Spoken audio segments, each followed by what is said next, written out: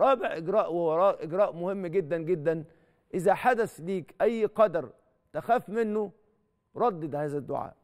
قول يا سلام. يا من أنت قادر على على كل شيء وعبدك لا يقدر على شيء. وأنت تراني وقد كسرني كل شيء. وأنت يا مولانا تعلم أن هذا من وهمي.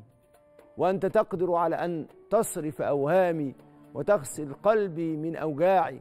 وتمنع عن أفكاري سوء ظني وإني قد حسنت الظن فيك.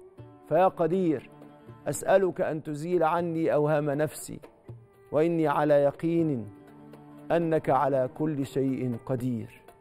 يا رب العالمين ارزقنا يا رب العالمين سلام التفويض. اجعلنا في هذا السلام نحس بالأمان ونحس بقربك ونحس بحلاوة معيتك. يا رب اجعل قلوبنا في حصن التفويض حتى نعيش ونذوق حلاوة أمان العبيد. يا رب العالمين. يا سادة وانتوا كمان احكوا لنا عن تجربتكم وعملتم إيه عشان تعيشوا بسلام التفويض. سلام التفويض ده لو جمعنا مفيش حاجة هتوجعنا. يا رب اجمعنا بهذا السلام واجعلنا دواما في حضرتك يا سلام.